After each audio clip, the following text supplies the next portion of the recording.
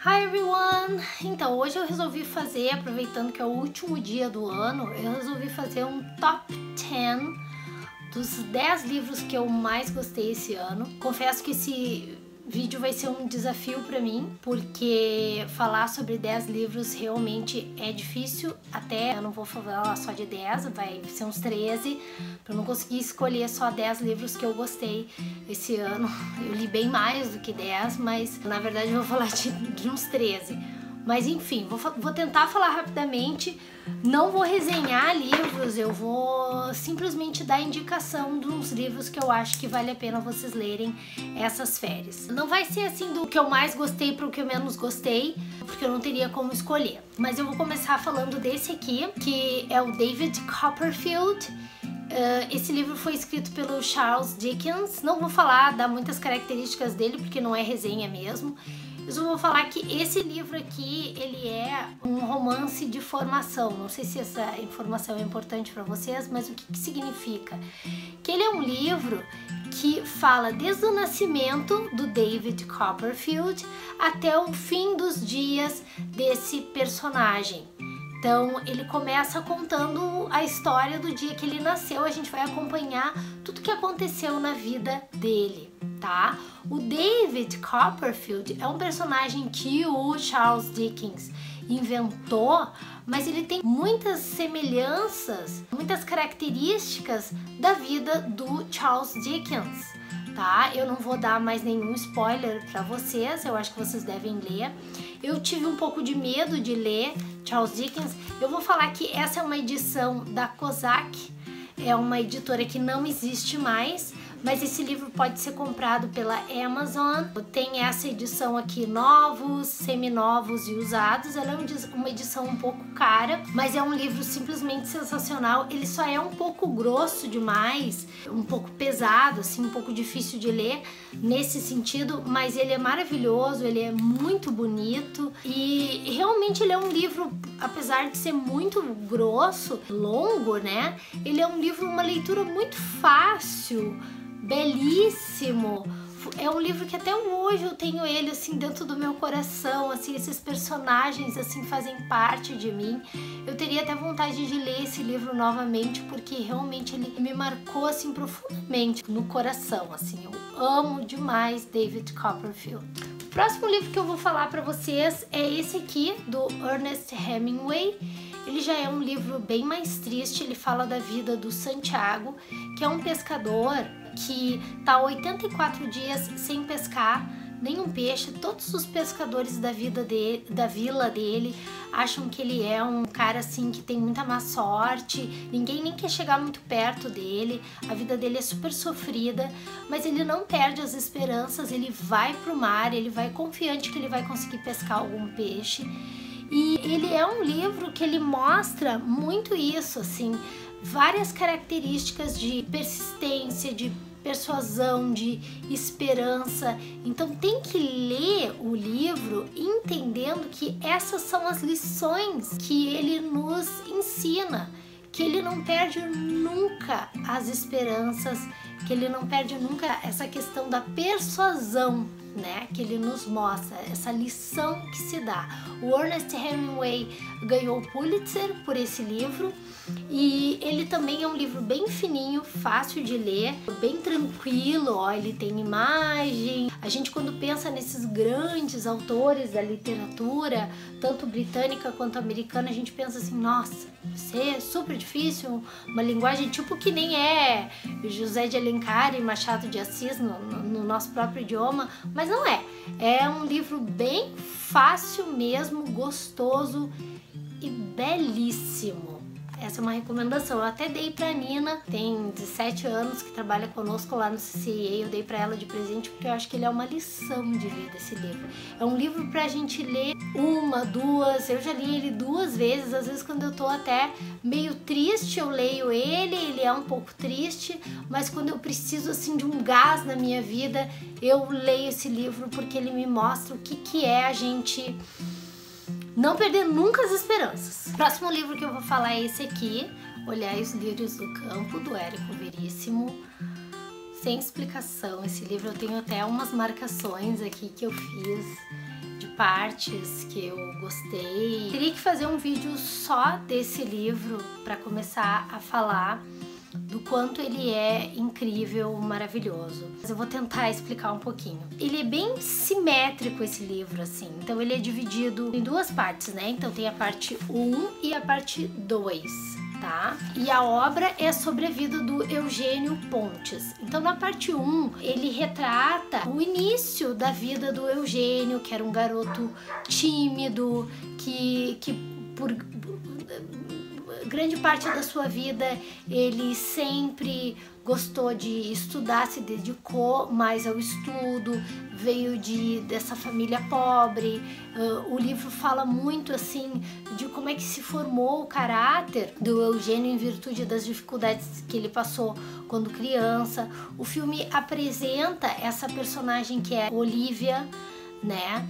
Que foi a pessoa que se torna uma grande protagonista na parte 2 do livro, né? Isso é uma, uma coisa muito marcante do Érico Veríssimo, como ele tem essa capacidade de criar protagonistas assim incríveis, né? Mulheres fortíssimas, mulheres assim que têm um apelo tão grande assim que a gente consegue se identificar, né? Numa época assim que ele escrevia, né? há tanto tempo atrás, assim, o homem era um simplesmente um gênio mesmo da escrita, né? O Eugênio é até um cara assim que eh, na primeira parte do livro que tu desgosta um pouco dele, né?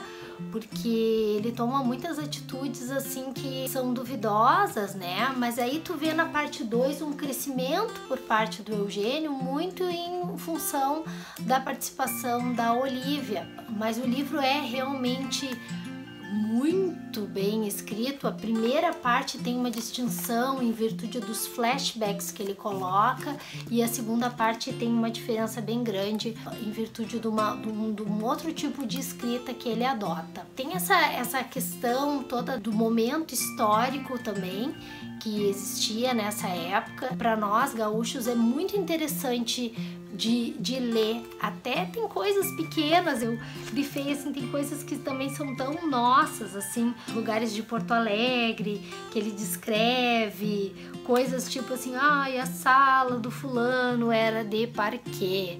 Então tem muitas coisas assim que eu gosto muito na escrita do Veríssimo e eu acho que é um livro maravilhoso. Também não é um livro difícil de ser lido, é uma leitura que flui muito bem e é belíssima. Indico. Esse livro pequenininho aqui, também, uma delícia de ler, é da, dessa uruguaia aqui, Inês, não sei falar o nome dela, Mortagarei,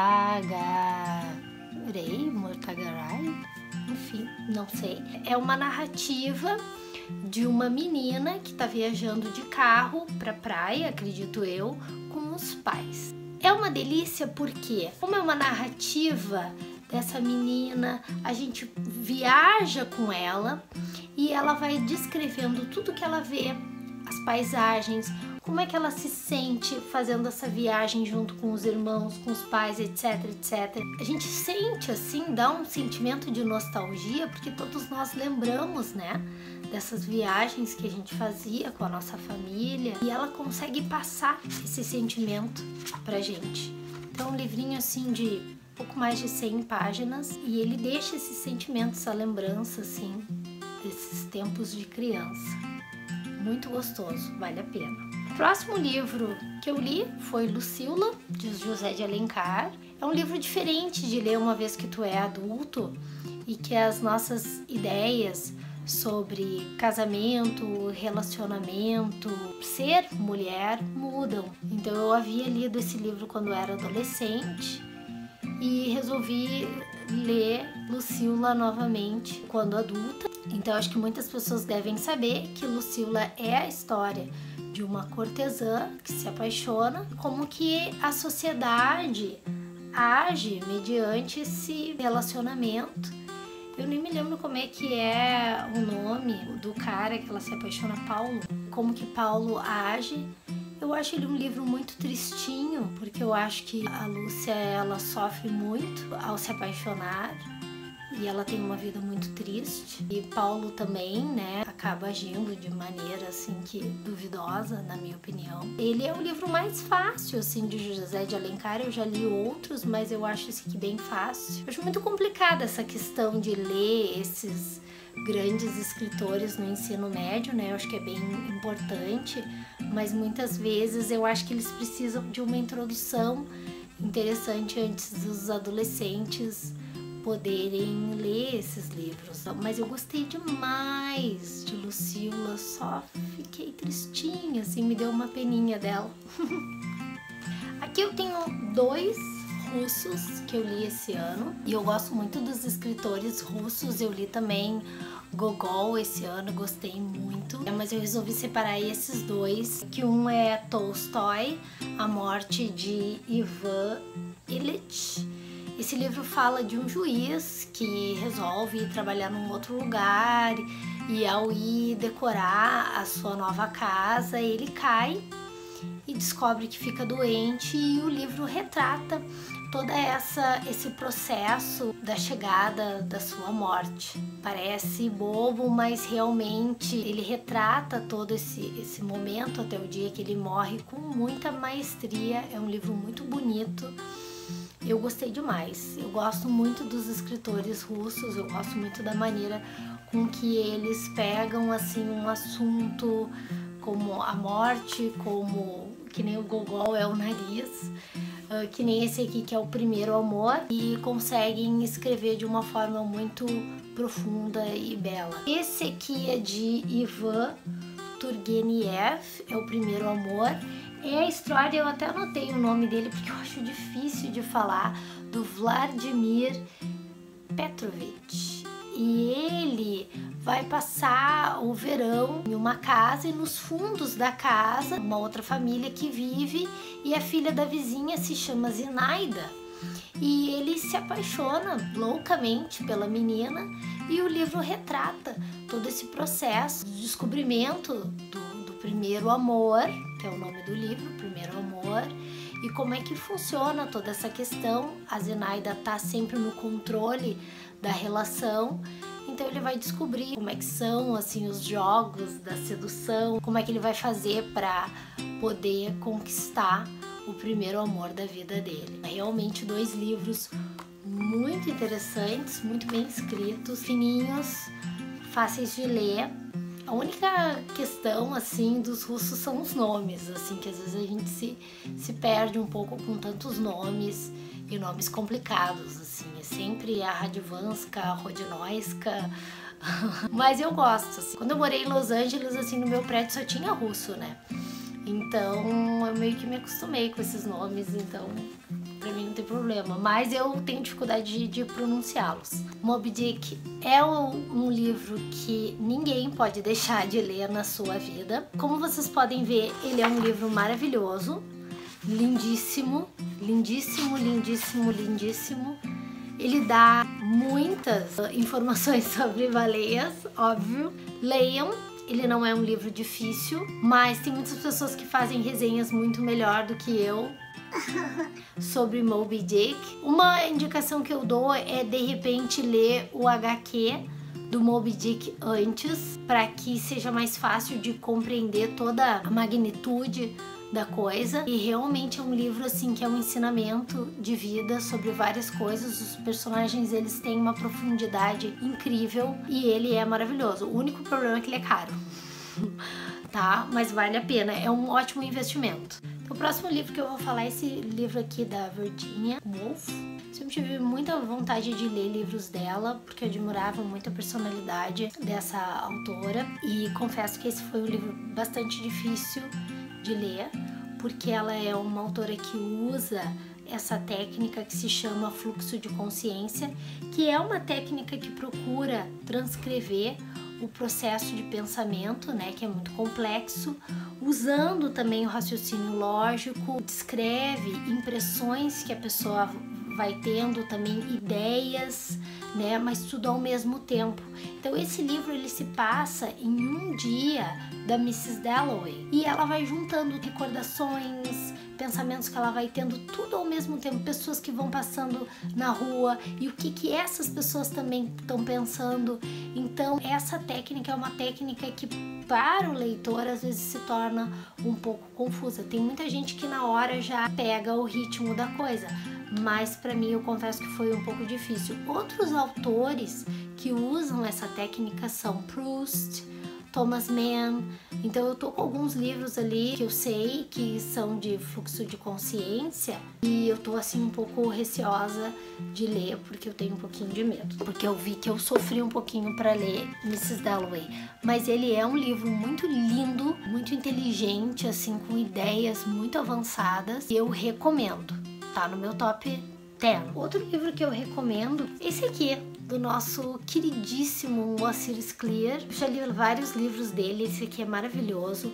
E esse livro tem uma coisa bem interessante dele, essa versão da LPM Pocket, ela vem com uma introdução do, do Moacir falando do caso daquele autor Ian Martel que plagiou esse livro. Então, se todo mundo já assistiu aquele filme A Vida de Pi, aquele filme foi baseado no livro do Ian Mattel. E o Ian Mattel copiou esse livro aqui. Ele mesmo admitiu que ele tirou a ideia para o livro dele deste livro, né? Então, o Moacir Scliar fala nessa introdução desse evento como é que ele se sentiu a respeito do plágio, o que, que aconteceu. O final dos livros são diferentes. Eu vi muitas pessoas, até nesse livro, as pessoas falam assim que os dois livros são muito bons. Eu ainda não li do Ian Mattel, mas esse aqui eu adorei. O Moacir Scliar escreve lindamente, eu já li vários livros dele. A Mulher que Escreveu a Bíblia foi um livro que eu amei, eu até acho que falei dele em um post que eu fiz. Eu indico esse aqui, foi um dos melhores que eu li esse ano. Próximo livro, esse aqui, do Josué Guimarães. Eu só consegui ler esse livro no iPad mesmo, porque foi um livro que eu, na verdade, li pra faculdade e depois eu me apaixonei pelo Josué, assim. Um escritor gaúcho, maravilhoso. Na verdade, eu amo escritores gaúchos. Parece que eles falam a nossa língua, né? É diferente. É tarde para saber, é como se ele fosse um Romeu e Julieta da nossa época, né? Da nossa língua. Ele é a história da Mariana e do Cássio A Mariana é uma menina rica, privilegiadíssima, e o Cássio é um menino pobre, não se sabe nada. Mariana não sabe nada, não sabe o telefone dele, não sabe onde ele vive, não sabe sequer o sobrenome do Cássio. Eles vivem na época da ditadura, então é uma época diferente do que a gente vive hoje em dia. Realmente esse livro retrata as dificuldades do romance deles, as angústias, principalmente por parte da Mariana que é sonhadora, ela tem uma perspectiva desse romance, enquanto que o Cássio é um cara realista, ele tem uma visão das coisas muito diferente da Mariana. Um romance histórico, de uma certa forma, não aborda de uma maneira tão implícita, assim, tão clara, né? A questão da ditadura, até porque na época não podia, mas a gente consegue pegar no ar, assim, algumas questões, assim, que aconteciam no nosso país, dá pra ter uma noção. Realmente é um romance muito bem escrito, a gente consegue sentir tudo que a Mariana tá sentindo. Então é realmente muito bonito. Não tem como não acompanhar os sentimentos dela de angústia, de tristeza, de solidão, de felicidade, de esperança, tudo que ela tá sentindo a gente sente também. É bem interessante. Então vale a pena ler, mais uma indicação para vocês. Meu Deus, eu acho que já foram, sei lá, uns 13, 14 livros, não sei. Era para ser um top 10, mas não deu para escolher só 10, né, gente? Foi muito livro bom esse ano, graças a Deus. E espero que 2019 eu consiga ler muito mais, porque leitura é vida, né? Mas enfim, eu vou falar para vocês desse aqui, As Vinhas da Ira, de John Steinbeck. Steinbeck. Esse livro fala da história da família Joad. Eles tiveram que deixar os campos de Oklahoma em virtude da Grande Depressão. Então, depois da queda, the stock market crash of 1929, né? Veio a Grande Depressão e aí todas as terras foram tomadas deles, todo mundo teve que abandonar suas terras, então ele fala muito do êxodo americano em busca de outras terras para poder plantar, de outros lugares para poder morar. Então é um livro assim de muito sofrimento. Oi. Ai. Ai. Mas de também muita esperança, a gente consegue, assim como o caso da Mariana e do Cássio que eu falei do outro livro, esse é um livro também que a gente consegue sentir tudo com eles, assim, a dor, o sofrimento, a esperança. Eu espero realmente que o John Steinbeck, esse, possa um dia que ele saiba o grande legado que ele deixou com esse livro, porque é realmente um livro maravilhoso. A gente consegue realmente assim conhecer um pouco também dessa época, dessa crise que foi a Grande Depressão pela visão assim daquela pessoa que estava na classe mais baixa lá dos Estados Unidos, né, que teve que trabalhar para comer todo santo dia, né? Então foi um momento crítico da cultura americana, né? E como ele, o país acabou tendo que se reerguer. Então ele fala muito também do preconceito que essas pessoas sofriam. Então é uma grande lição de vida. Tá aqui o meu top 10. Desejo um feliz 2019 para vocês. Muitos livros. Happy New Year. Bye. Bye.